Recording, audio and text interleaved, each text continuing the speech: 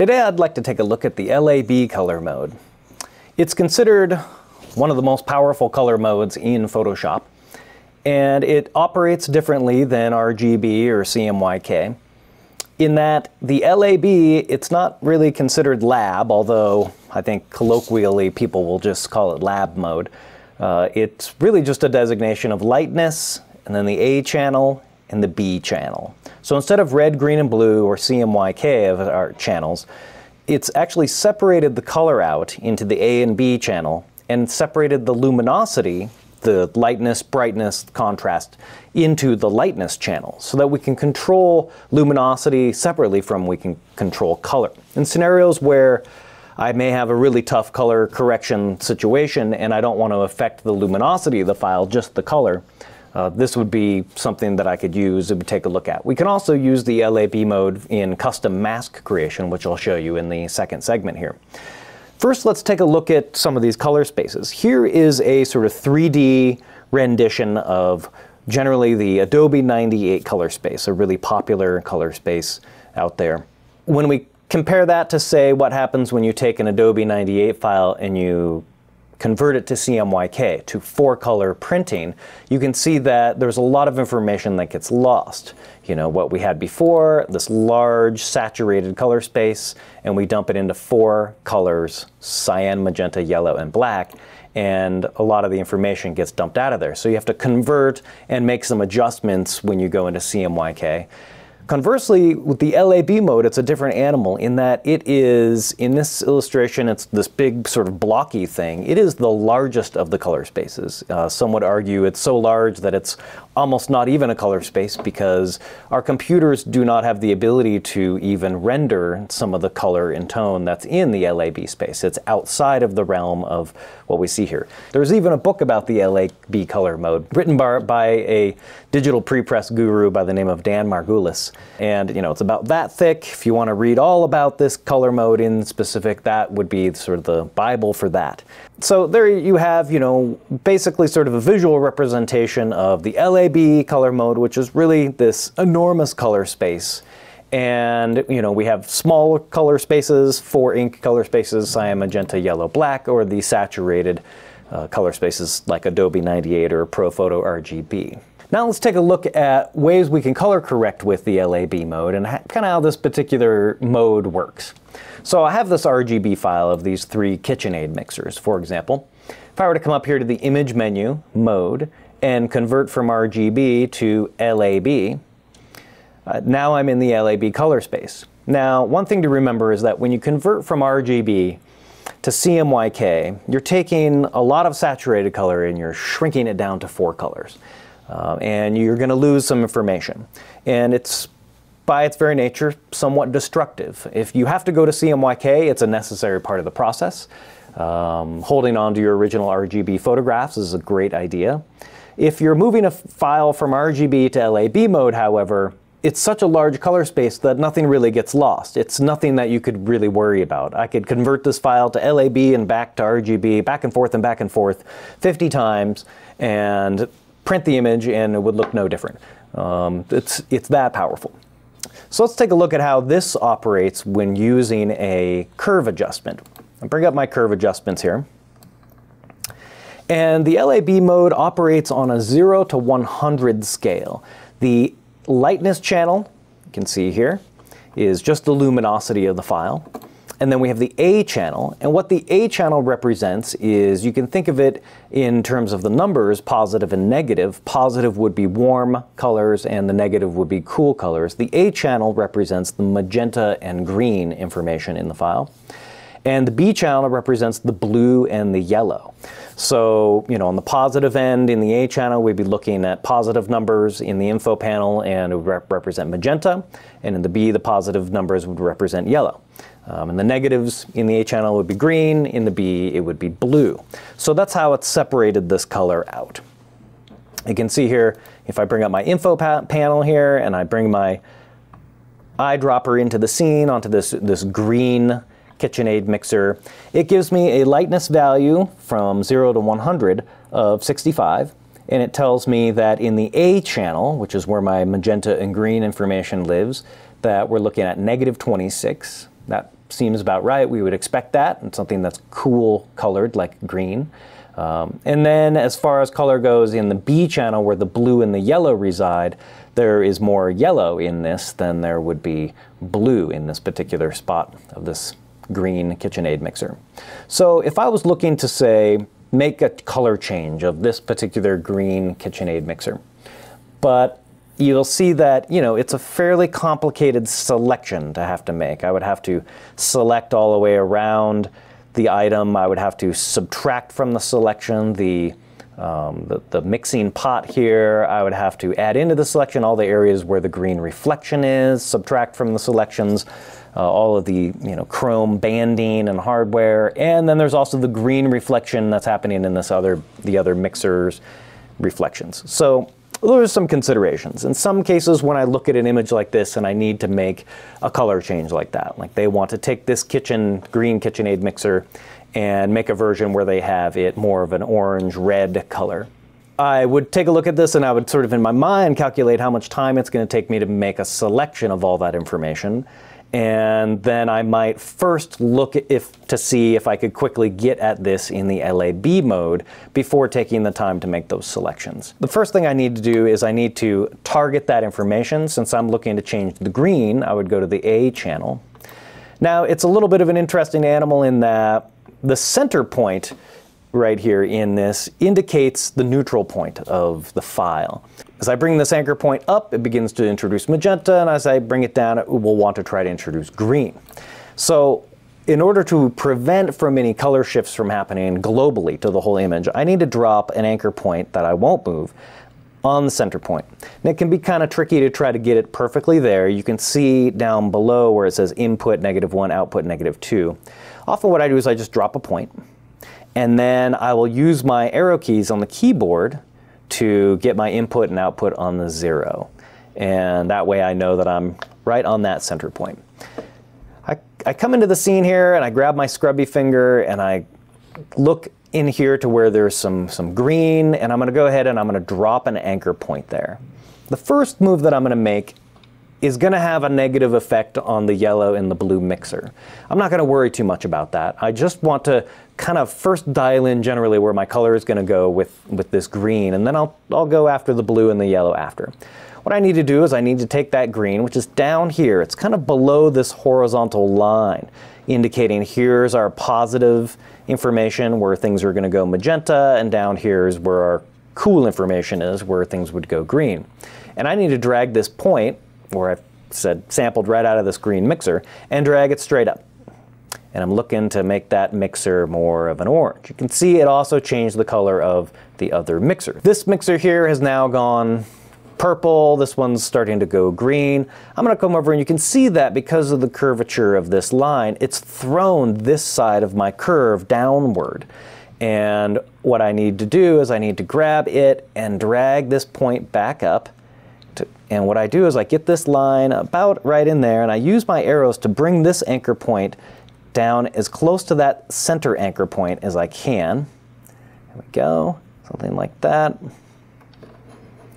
And I'm going to take a look at this yellow over here. Usually I'll take the visibility eyeball on and off and see what detrimental. So the yellow is looking pretty good. I need to just get my, my blue mixer looking better. So I'm still anchored there. So I'm looking to kind of dial in where this mixer's information lives so that I can make some changes there. I don't want it to be quite so purple, but more back to that original blue. It's looking pretty close. So just manipulating some of these points, we're able to make these color adjustments. That's looking pretty good. And because my curve here is getting crushed to the top, I don't want that to happen, so I'm going to dial that back a bit, right about in there.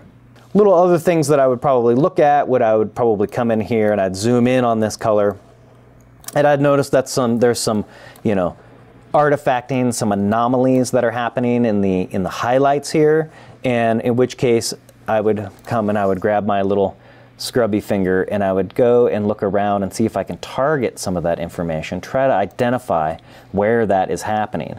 and I would start dragging that curve around to see, you know, what is the, the threshold? What is pushing it too far?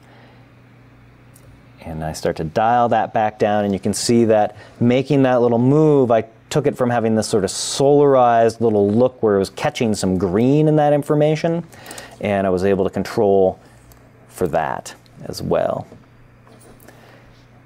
You can see that it's had an effect on my, my blue mixer. And so I, again, I want to come back and I want to take a look at that information. So it's sort of this, you know, delicate dance between working with these two colors and making sure that in this case, some of that solarization is coming from this part of the curve coming up so high. So I'm dragging that back down. And there we go. There would be a very quick and dirty way of making some color changes to an object without having to make any complicated selections by using the image mode, LAB mode, and dropping an anchor point you can see dead center. You can see our curve ends up looking pretty wild.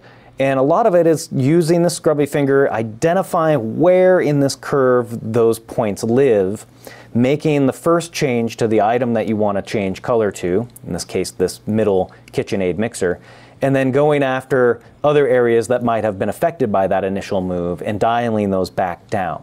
It's a powerful tool. It doesn't work on every image, but it works on many.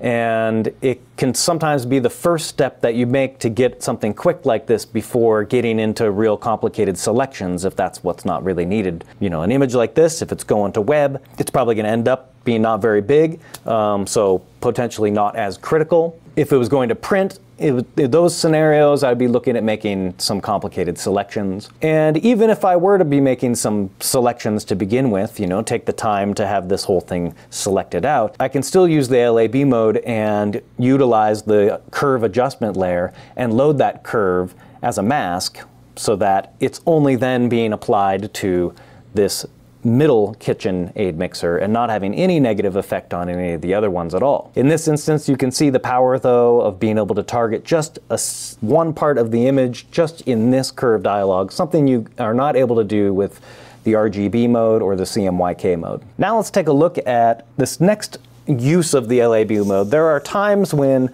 as a Photoshop artist, you need to make a selection of something that's complicated. And in this case, you know, if I wanted to make a selection and change the color, this particular client, let's say, has a number of these shirts, and they want to have a number of them printed where instead of it being orange, there might be a purple one, there might be a blue one, some different colors instead of the orange. In production, often what we'll do is we'll photograph it once and then we'll take it into Photoshop, duplicate the file a number of times, and then change the colors. And in this scenario, if I wanted to make a selection of that area to change that color, I could sure try with something like, uh, you know, select color range. Let's give it a shot. You know, maybe I could use the magic wand and you can see that the magic wand is going to give give me a selection.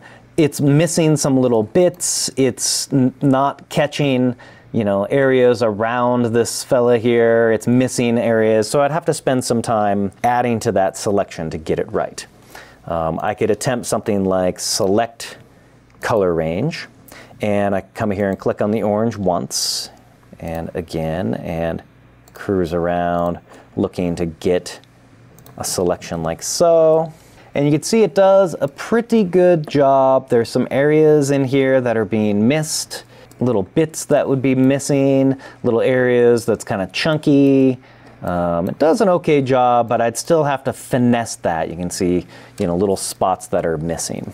So let's take a look if, you know, we were to take this file and try to make a channel mask of it. I could look at the different color channels. So here's, you know, the red channel. Let's zoom in and take a closer look at the tone. There isn't a lot of separation here between this orange that I'm after and the logo, the Pete's logo here. So that would be difficult. The green, there isn't a whole lot of contrast difference between this tone and say the apron. So if I were to go to try to separate those, it would be difficult. Then I would be taking the apron with me. Um, and then I can look at the blue and the blue is even closer to, you know, the blue is closest to the barista here. So that would be kind of a difficult one to work with. So in some cases, what I'll, I'll do at this stage is I'm going to duplicate the file. Image, duplicate. And I'm going to call this one CMYK. And this is, in my process, that's the next step. I would take the image to CMYK, this dupe. Not really, really worrying about converting this color because I'm taking the image and making a duplicate. I'm not affecting the original image. And it gives me the ability to now come and examine the cyan, magenta, yellow, and black. So you can see with cyan, the orange, and the border, too close, the logo, I wouldn't be able to separate those. Um, this one's pretty good, but again, I'm going to have a hard time separating this orange from the barista and yellow. It's okay. It's getting a little funky down in here. That might be tricky. And black, forget about it. It just blends right in with the, uh, the white logo here. Okay, so CMYK is not going to work out for me. So I'm going to go ahead and close that file. Don't save. And I'm going to duplicate this original one again. Image duplicate, and I'm going to call it LAB. And here we have an LAB file. Now I can take a look at image mode LAB and I take a look at the A channel. Oh, that's pretty nice right off the bat. Or the B. That's pretty nice too. I mean, look, that's like a, it's like a mask right off the bat. So if I take this A and I bring it down to the dog-eared page and I copy it, and I bring up my levels dialog and drag this black slider over, and I can grab my white eyedropper and click in this area, drag my, grab my black eyedropper, click in here, boom, I've got a really good mask right off the bat.